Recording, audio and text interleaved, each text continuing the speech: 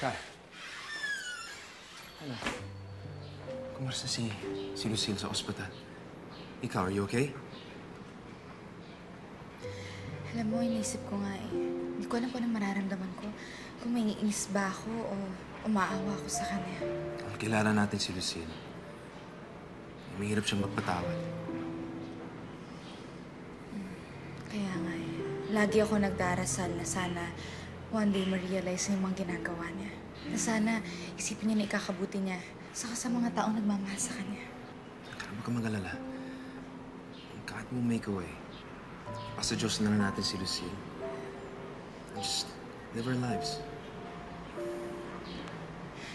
At siya nga pala, kamusta na nga pala yung preschool? Alam mo, I'm really, really happy and proud of you. Ako din. Happy din ako na natutupad na ang pangarap ko. Kara, syempre I'm doing this for the both of us. Pero, Pero ano, wait, bakit may problema ba? let's just say it's a good problem. And kailangan kong sagot mo. Ako? Wait, bakit ako? Sige, ano yan? Tell me. Kara, we have another offer for a preschool. Pero itatayo ito sa Cebu.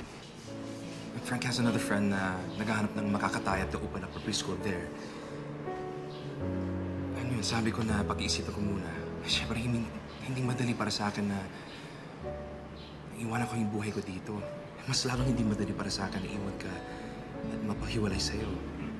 Alam mo, Seb, hindi naman kita pwedeng pigilan sa mga pangarap mo. Yung mga ako ata ang may problema. Hindi ko alam kung kaya kong malayo sa'yo. Whatever you will do, I will support you. Kung ano man yung desisyon mo, re-respetuhin ko yun. There's only one thing I can promise you. Nothing can stop me from loving you.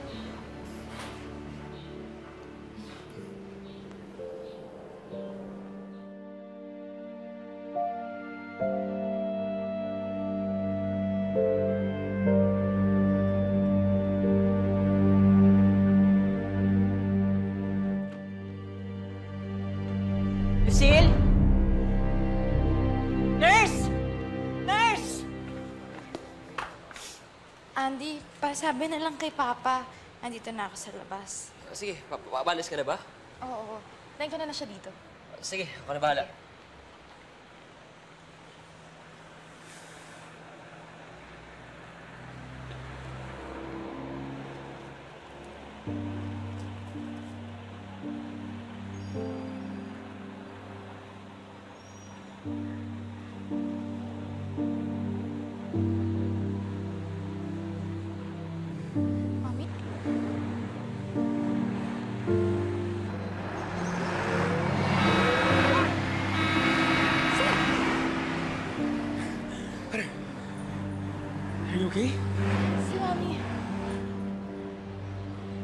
Ko si Mami.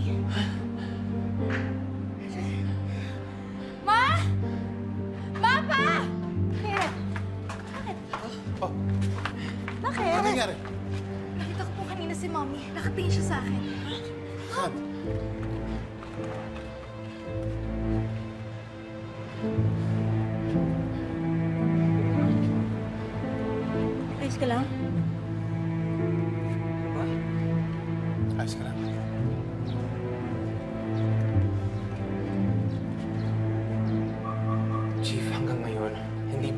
Tumitigil si Lucille sa panggugulo sa pamilya nila. Eh, they already have a restraining order against her, but mukhang she keeps on violating it. At hindi po ako pwede magkamali. Alam ko po sasakyan yun ng Mami ko. Nakita ko po siya. May nakakita pa ba sa kanya maliban sa inyo? Wala na po ako lang. Kailangan natin ng supporting evidence para mapatunayan natin na lumalapit pa rin sa inyo si Mrs. De La Rosa. Dahil kung hindi, hindi natin siya makakasuhan ng contempt. Chief, anong pwede gawin para maprotektahan sila? May CCTV kayo? Yun lang, ang pwede kong may suggest sa inyo. Dahil pag meron tayong video surveillance at mapatunayan natin na lumalabag sa sa batas, iyon makakatulong sa kaso nyo.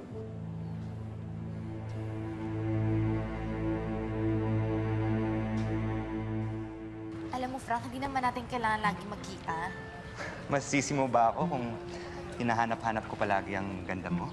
Uy, gusto bagay, yung ganda ko talaga hindi nakakasawa. Ah!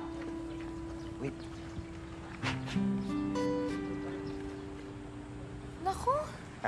Yung mga the moves mo, ah. Nako, pwede ba? Huwag ka nga mag-the moves ng ganyan. Alam ko na pupunta kayo ni Seb dun sa Cebu. Kaya wag mo kong papaantaran ng mga ganyang the moves mo. Dahil hindi ko kaya ng long-distance love affair. No, no, no, no. Eh, teka muna, long distance love affair? Ah, At kailan mo nalaman tungkol sa Cebu? Alam mo kasi, may tenga yung pader, saka may pakpak yung balita. Yun yun. Well, may plan kami magtayo ng business dun sa Cebu. It's a great opportunity para kay Seb. Pum pumayag na ba si Seb?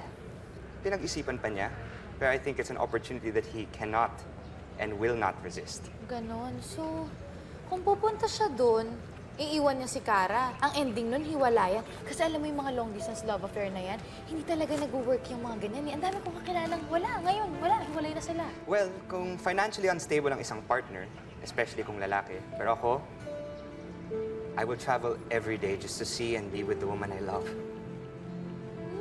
Juserum pala ka.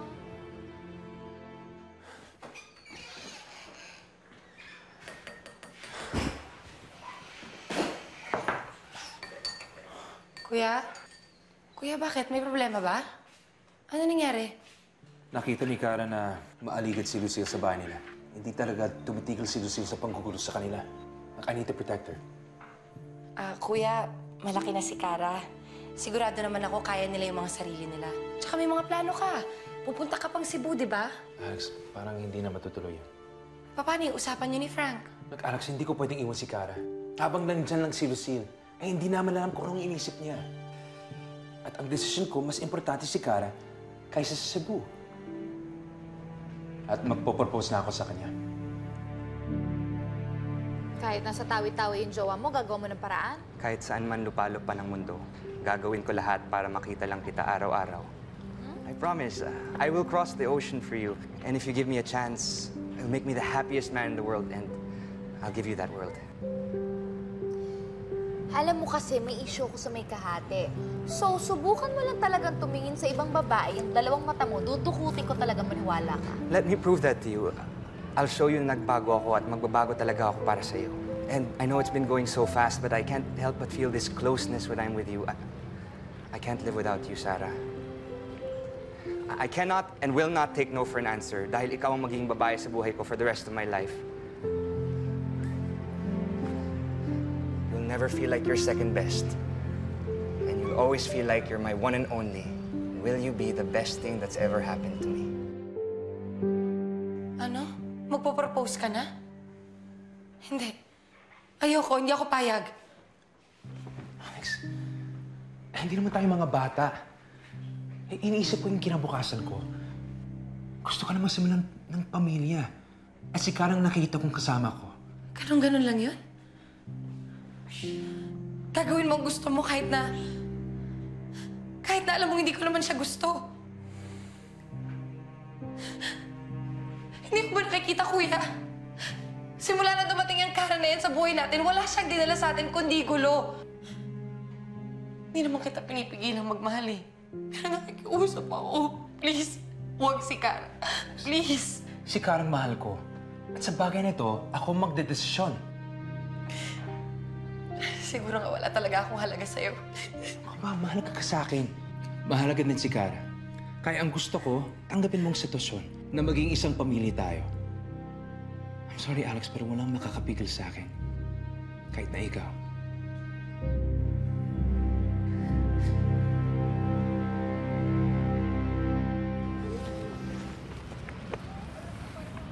Yes. Yes yung sagot ko. Really? Oo nga. Eh, mukhang ayaw mo naman yata. Uwi na lang ako. Oh, of course not. Sarah, I, I love you. Ay! Ano ginagawa mo? I love you, Sarah! Okay,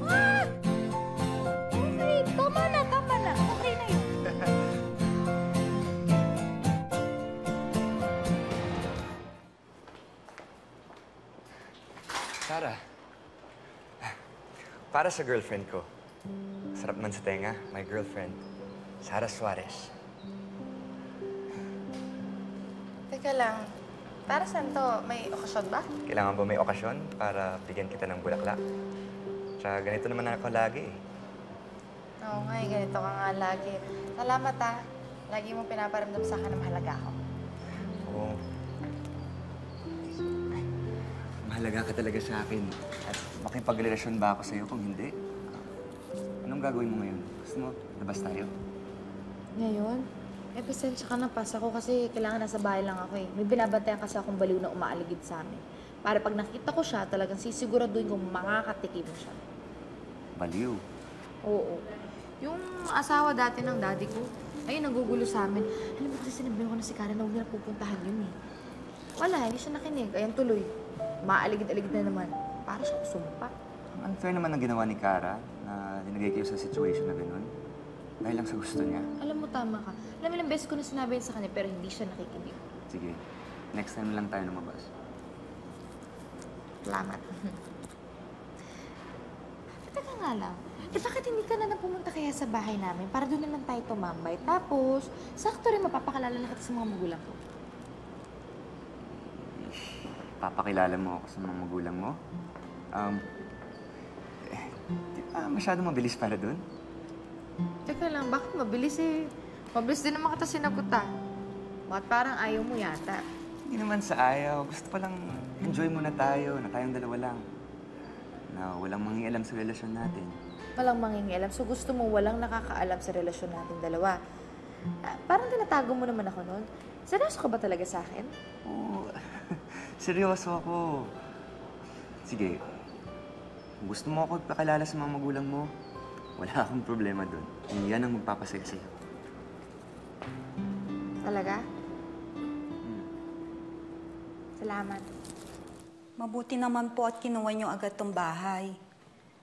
Sa nakikita niyo po, furnace na po ito. Wala na po kayong dapat alalahanin. It's perfect. Ito po ang susi. Tawagan niyo na lang po ako kung may kailangan kayo. Sige. Mauna na po ako. Salamat.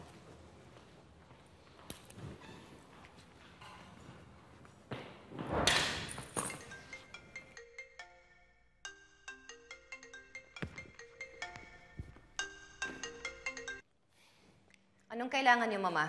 Nasaan ka? Bakit gusto niyong malaman? Para tuluyan lang masira ang buhay ko? Mama, wala na kayong sisirain pa. You already have my company, so enjoy it. Lucille, alam ko galit ka sa akin. Intindihin mo sana na gusto lang kitang tulungan. No, Mama. You will never control me again katulad ng ginawa mo sa akin magmula pa nung bata ako. Kaya nga ako tumakas sa inyo, hindi ba? Kaya please, Mama, leave me alone. Lucille, makinig ka sa akin. No, Mama. Sa tingin mo ba, magtatagal ka ng ganyan?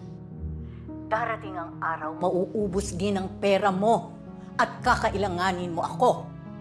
Nakayanan namin ni Antonio noon na mabuhay sa hirap. Kakayanin ko to ulit. Basta't mawala lang kayo sa buhay ko. Kaya no, Mama. Hinding hindi ko kayo kakailanganin.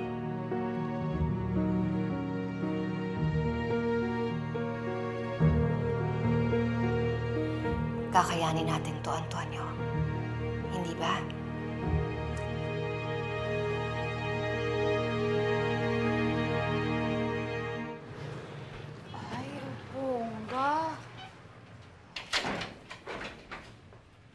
Siya nga pala, Frank. Hindi ba tayo bibili ng pagkain? Para saan?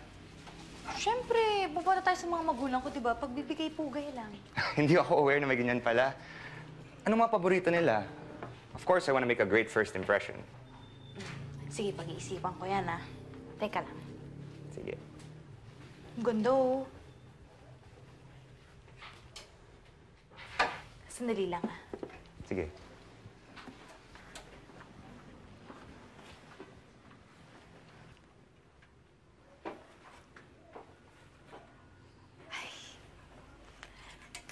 Frank, sukat mo to, dali. Maganda yan.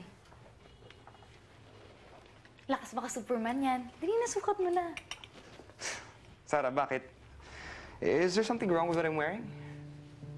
Ah, wrong? Hindi, wala.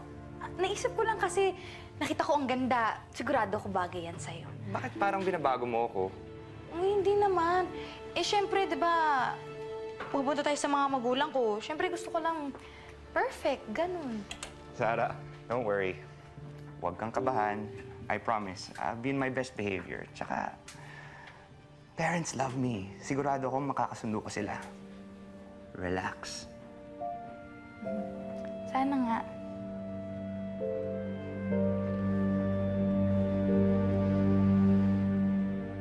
Tara, kumusta na kayo dito? Okay naman kami, hindi na naman bumabalik si Mommy. Kaya huwag ka na mag-alala. Siya nga pala, kamusta pala yung offer ni Frank sa'yo sa Cebu? Well, ah, nakapag-desisyon na ako. I'm happy for you. Sigurado ako magandang opportunity yun. Kara, hindi mo naintindihan. Nag-decide ako to stay here with you. At teka lang, bakit? Bakit mo ginawa yun? Hindi mo naman kailangan gawin yun eh.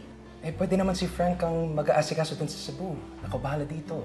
Kara, mas importante sa akin na makasama ka. Eh, mas lalo ngayon na nandyan si Lucille sa paligid para protektahan kita at pamilya mo. Salamat. Ah, siya nga pala. Um, may gagawin ba kayo this weekend? Wala, wala naman. Bakit? Buti naman. Ah, tito, tita. Mabuti naman, tamang-tama. Ay, ipapaalam sana ko sa inyo. Ano yun?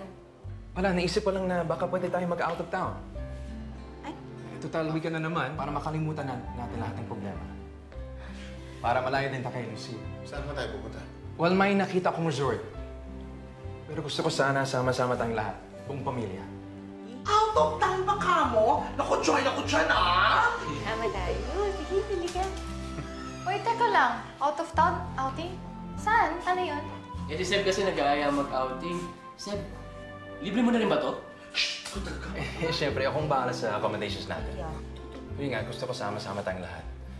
Well, Sarah, sama ka. Eh, saan naman yan? Baka mamaya putyo-putyo resort lang yan. Alam mo kasi hindi ako bagay din. Bagay ako sa five-star ng mga resorts kasi yun yung ganda ko. Anak, pakilala mo naman kami sa kasama mo. Ay, of course. Mama, Papa, Ninang Andy, si Frank po. Boyfriend ko. Hello. Ah, good evening po. Kayo na? Iwanan mo kayo dapat ipag-alalay kasi nga mabait naman to si Frank. Isa pa kaibigan niya si Seb. Matalino to, gwapo, saka hindi niyo natatanong, negosyante rin to. Sarah, hindi mo naman ako kailangan ibenta sa mga magulang mo. Parang ang ano lang, ano, ang bilis. Ang bilis ng mga pangyayari, anak. Man naman, wala naman yun sa tagal ng pinagsasami. Nasa sinasabi yun ng puso. Eh yung iba nga dyan, tagal-tagal na wala namang kinahinatan yung relasyon. Okay, alam mo, may point ka dyan, inaanak. Eh, ito nga mama at papa mo. Pang magkabarkada na naman kami nung araw. Pero di ba, sila ang nagkatuluyan at hanggang ngayon ay nagmamahalan. Alam mo, sa panahon ngayon, hindi mo na malalaman kung sino makakatuluyan mo. Baka talaga dyan na. Ay, speaking, teka lang, ito oh. May cake. Bongga to, mahal to. Bigay ni Frank. Ay, salamat. Nga, Maraming Kaya salamat. magkakaroon sa batang to. Paati ko mo alam na dito sa mga charamisan mo. Ay, Hanapin mo ang anak ko. Galugarin mo ang buong Maynila. Sigurado kung hindi siya lalayo. Sige po, ma'am. Gagawin ko po makakaya ko. Kailangan mahanap mo siya sa lalong madaling panahon. ang tarap nga itong cake na to. Mukhang ginigisa nila tito-tito yung bago mong boyfriend ah. Ay ako, kaya mo siya kayang-kaya na yun. Magaling din yun sa question and answer portion. eh, Kaya nga, bagay na bagay kaming dalawa. Kahit na anong tanong kaya nung sagutin. Kasi sa abroad po yung nag-aral. Talaga ba? Parang ang bilis mo yata siyang sagutin. Alam mo ha, hindi nga namin namalayan, may manliligaw ka pala. Iyak ko nga din nang nagulat, pero alam mo, ang bait-bait niya talaga. Tsaka pinaparamdam niya sa akin na hindi masamang tao yung tingin niya sa akin kasi pareho kami ng pinagdadaanan. Tsaka, sinasakin niya yung topa ko ah. Higit sa lahat, mahal niya ako. Ano nga pala ang trabaho mo, Frank? May mga family businesses po kami. Invested din po ako sa mga negosyo. Pag may nakita kong rising ng mga negosyo, doon po ako nag invest That's why nakipag-partner ako kay Seb para sa preschool. So, huwag po kayo mag-alala. I'll provide for Sarah. Eh, ikaw ba mahal mo siya?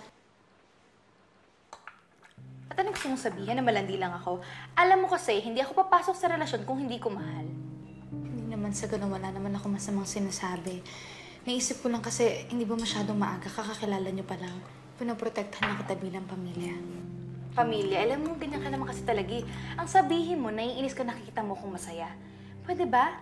Ba't hindi na lang pakialaman mo yung relasyon niyo ni Seb? Ba't hayaan mo akong maging masaya? Ah, sana kumalma ka nga. Nag-uusap lang tayo dito, walang umaaway sa'yo ha. In fairness sa'yo, inaanak. Manang anak ka talaga sa ninang. Ganun-ganun ang itsura ng mga boys na type ko. Yung, yung Hindi yan ang ibig namin sabihin. Gusto ko lang namin makilala. Hindi mahalaga sa amin ang pera eh. Ang mahalaga sa amin ay maging masaya si Sarah. Alam mo, marami kasing pinagdaanan yung batang yun sa buhay, kaya't mahirap sa kanya magbigay ng tiwala. Kaya naisip namin, siguro may nakita siyang espesyal sa'yo, kaya naibigay niya ang tiwala niya sa'yo. Lahat naman ng mga tao may issues. Pero I think Sarah can handle herself. That's why nagustuhan ko po siya. Chill lang kami. Don't worry. I'm here for her. Sana nga, Frank. Alam mo, yun lang ang pinagdarasal namin mag-asawa para sa anak namin. Yung maging masaya siya. Alam ko na mabilis yung pinasukan tong relasyon niyo, pero sana pumasok kayong pareho na bukas ang mga mata at may respeto sa isa't isa. Sana huwag mong sasaktan yung anak ko. Ah, hindi ko po magagawa yun. Why would I hurt her?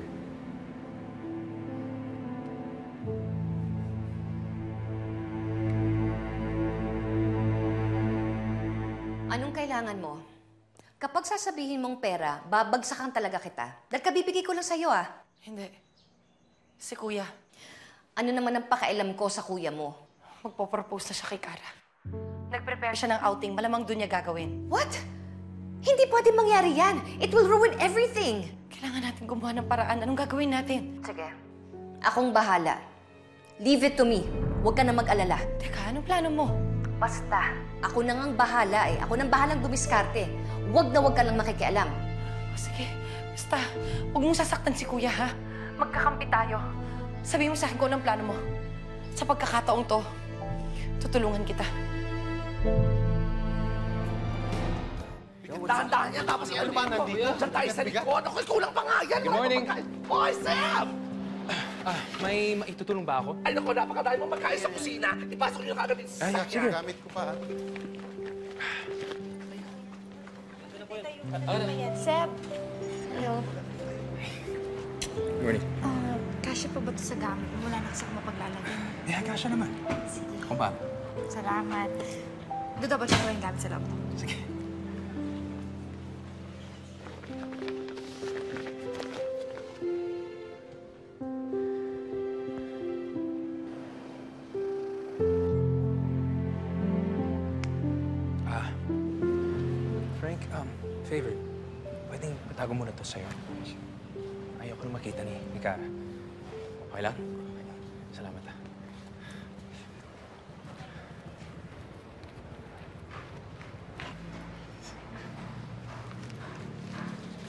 Kuya, Alex. Anong ginagawa mo dito? pwede pa ba ako sumama sa inyo? Alam ko namang espesyal tong araw na to para sa'yo eh, kaya... Gusto ko nandito ako para sa'yo. So, ibig sabihin, Ibig sabihin, tama ka. Desisyon mo yan. Wala na akong magagawa. Kailangan ko nalang tiisin. titiis eh. Tanggapin.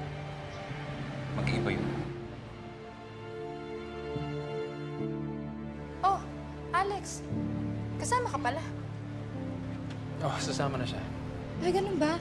Ako, pasensya na. Mukhang hindi nakakasya po noon eh. Isa pa, kasama ko rin kasi yung boyfriend ko eh. Ah, no, it's okay. Kasya pa yan. Alam mo, masaya nga ako makakasama ka namin ngayon eh. Siyempre, dahil nandito ako para kay Kuya. Let's go na, Mare! Andi na kayo kayo! Matraffic na tayo, ano? Sa likod! O, sige. O. Ano kuya? Dito tayo. Ayan, dyan na. Sige, dyan na kayo. Ha? Sa ano, ha? Masyado tayo? Alam mo sa mga aircon, napakainit. O, lagay mo na lang yung gamit nyo dyan sa ibabaw niyan, Sam. Sige. Ito ang resort. Gusto ko bago mangyari yung proposal, mapigilan mo na. Anong gusto niyong gawin ko, ma'am? Ikaw nang bahala. The less I know, the better. Ang kailangan ko lang resulta. Ang gusto ko, mawala sa landas ko ang mga Suarez. Pero, wag na wag mong sasaktan si Cara. Yung iba, wala na akong pakialam sa kanila. Naintindihan mo? Yes, ma'am. Sige, puntahan mo na yan.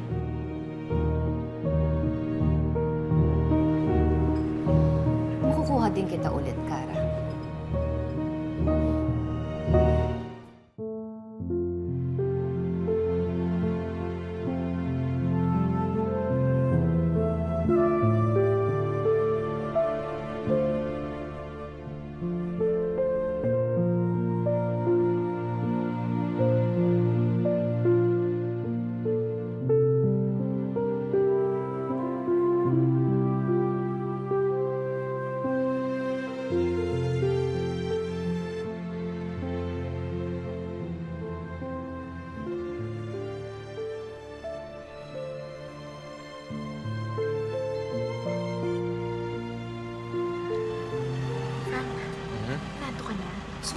Lang.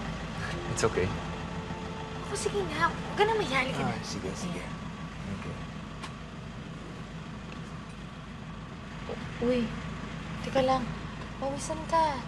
Meron ka ba dalang towel dyan? Ah, yeah. Sige, sa bag ko. Akin na. Okay. Ako naman, nagpapapawis ka.